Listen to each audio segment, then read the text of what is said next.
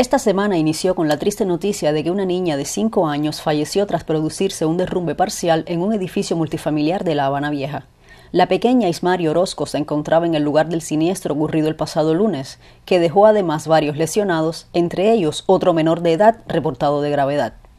El origen de la tragedia habría sido el colapso de una de las secciones de la segunda planta, que se encontraba apuntalada desde hace tres años. El inmueble había sido declarado inhabitable, como casi todos los de La Habana Vieja, una de las zonas más densamente pobladas y cuyo fondo habitacional figura entre los más críticos del país.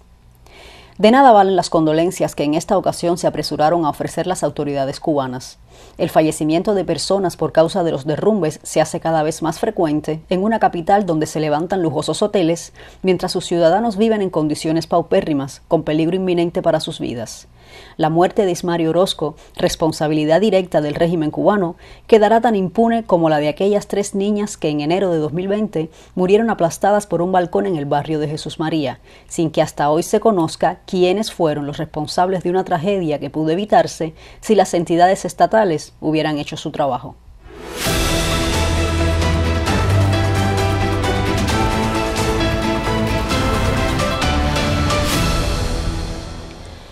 Pasando a otros temas. Esta semana fueron destituidos el ministro de Energía y Minas, Liván Arronte Cruz, y el director general de la empresa eléctrica de Cuba, Jorge Armando Cepero Hernández. Pese a que el régimen no ha explicado el porqué de su decisión, no es nada nuevo que un par de chivos expiatorios carguen con la culpa de no poder resolver los problemas ocasionados por la obsolescencia del sistema que impera en Cuba desde 1959.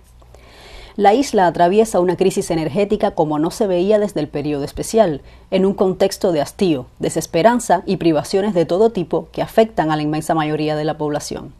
Los continuos apagones por la escasez de combustible y la ruina de las termoeléctricas han hecho escalar el descontento de los cubanos, expresado en protestas populares que, en algunos casos, han sido reprimidas con violencia. El plan de Miguel Díaz Canel de solventar la crisis energética para el venidero mes de diciembre va por el mismo camino del guarapo, la limonada y la base de Pisa. Entre el desastre impulsado por el castrismo a lo largo de seis décadas, la falta de liquidez y la torpeza del actual gobierno, no parece posible para Cuba remontar semejante caos. Para lidiar con el desastre que se avecina, han sido nombrados ahora Vicente de la Olevi como titular del Ministerio de Energía y Minas y Alfredo López Valdés como director de la empresa eléctrica.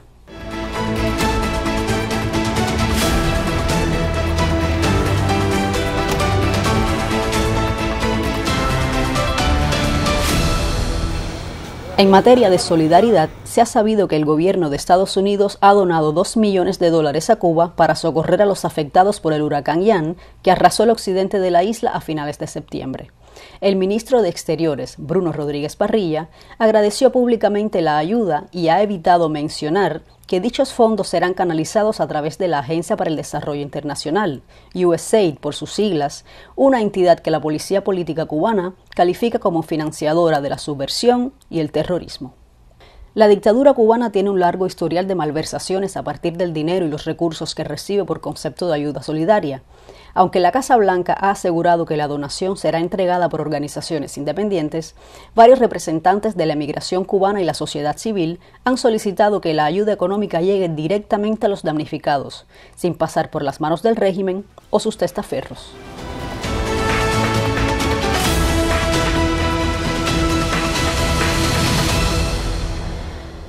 En otro orden de asuntos, el pasado miércoles se hizo firme la sentencia de cinco años de trabajo correccional sin internamiento para el trovador Fernando Becker, acusado de abusos lascivos por más de 20 mujeres.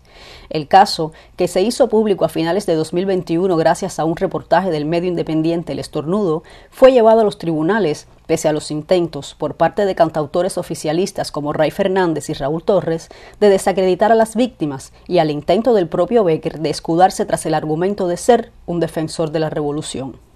Si bien el enjuiciamiento de un tipo alineado con el régimen podría sentar un precedente importante teniendo en cuenta que la claque castrista siempre ha sido intocable, la sentencia constituye, cuando menos, una burla y una ofensa a todas las mujeres abusadas, en un país que tiene cientos de personas encarceladas por cantar Padre y Vida, pedir libertad, sonar un caldero, burlarse de Díaz Canel o romper el cristal de una tienda.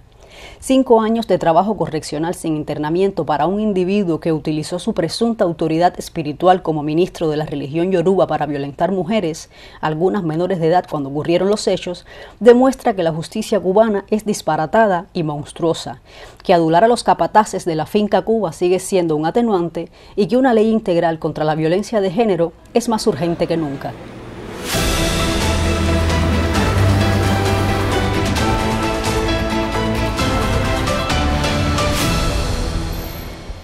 Y cerramos con la noticia de que más del 72% de los cubanos viven por debajo del umbral de la pobreza, según reza el informe sobre el estado de los derechos sociales en Cuba, presentado este jueves en Madrid por el Observatorio Cubano de Derechos Humanos.